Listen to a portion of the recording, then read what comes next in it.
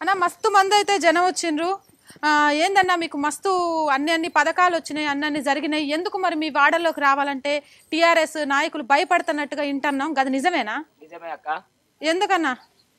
TRS నాయకులు అంటే రాజేందర్ అన్న టిఆర్ఎస్ పార్టీలో ఉన్నాడు. ఉన్నాడు. అక్కడ కేసీఆర్ చేసింది ఏం లేదు. రాజేందర్ అన్నకు మా హుజరాబాద్ ప్రజల పైన ఉన్న ప్రేమతో ఈటల రాజేందర్ అన్న మాకు ఆ రాజేందర్ అన్న చేసిన పనులు తప్ప కేసీఆర్ ఒక్క పని కూడా ఇంతవరకు ఏం చేయలేదు మాకు.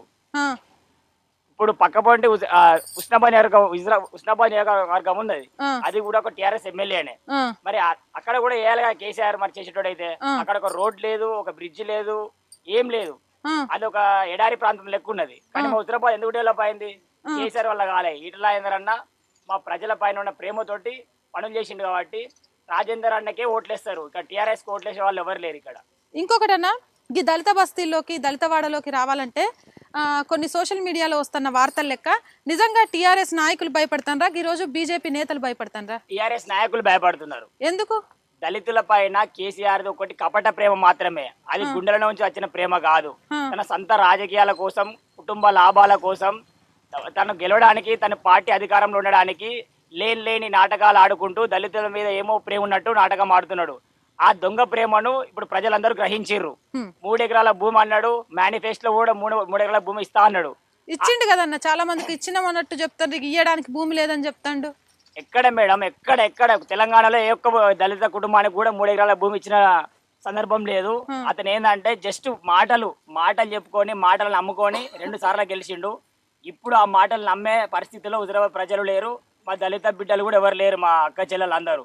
అతను ఇప్పుడు దళిత బంధు ఇప్పుడు ఇస్తా అన్నాడు.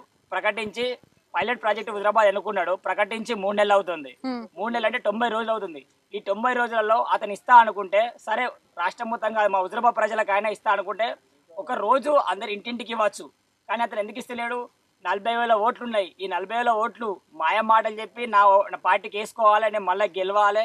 నా కుటుంబం మొత్తం రాజ్యం వెళ్ళాలనే ఉద్దేశం కొద్దే ఆయన సొంత రాజకీయాల కోసం వీళ్ళని వాడుకుంటున్నాడు వీళ్ళని అనవసరంగా ఆ, పిచ్చోళ్ళని చేస్తున్నాడు ఇలా బ్యాంకుల పండి తిప్పుతున్నాడు తప్ప అతను అయితే ఇవ్వడం ఇవ్వడనే మాకు తెలుసు. అతను ఎన్నికల కమిషన్కు వాళ్ళ బంధువులతో లెటర్ రాయించి అతన్ని దళిత బంధుని ఆపిండు ఎందుకంటే అతను ఇవ్వడానికి డబ్బులు లేక. అతను చేసిన దొంగ పని మా రా దేవుడైన రాజేంద్ర అన్న మీద అన్యం పుణ్యం ఎరుగని రాజేంద్ర అన్న పైన నెట్టి ప్రజలను తప్పుతో పట్టిస్తున్నాడు. కేసీఆర్ గారు అబద్ధాల మంత్రి హరీష్ రావు గారు. కాదు హరీష్ సారు చెప్తాండు ఈటల రాజేందర్ కరెక్టే కాదు కేటీఆర్ సారు హరీష్ సార్కి వాళ్ళ పేపర్ చదివినాక ఆ పేపర్లో చెప్పిండు. అసలు ఈటల రాజేందర్ మంచోడే కాదు గవాలతో గివాలతో కుమ్మక్క అవుతా ఉంటాడు రెండు తలకాయల మనిషి. ఆయనకు ఏం లేదు ఇస్మత్ అని చెప్తాండు. మరి రాజేందర్ మంచోడు కాకపోతేనే మేము ఆరు ఆరు సార్లు మేము గెలిపించుకున్నామా? ఆరు సార్లు మేము ఆ గుండెలు పెట్టుకొని గెలిపించుకున్నాం రాజేందర్ అన్నను. ఇంకా ఆరు సార్లు అయినా గెలిపించుకుంటాం మేము రాజేందర్ అన్ననే. హరీష్ రావు చెప్పే మాటలు ఆ సిద్దిపేట ప్రజలు వింటారు కావచ్చు కానీ మా హుజరాబాద్ ప్రజలం చైతన్యవంతులం. తెలంగాణ ఉద్యమం స్టార్ట్ అయిందే మా హుజరాబాద్ గడ్డమే స్టార్ట్ అయింది. మేము ఆత్మగౌరవానికి ప్రతీక ఒకసారి మేము మైండ్లో ఫిక్స్ అయితే ఎన్ని కోట్లు వంచినా కూడా బయటికి చెప్పలేకపోతున్నారు చాలా ప్రజలు అని ఓటు మాత్రం కమలంపు గుర్తు ఈటల రాజేంద్రన్నకే వేస్తారు.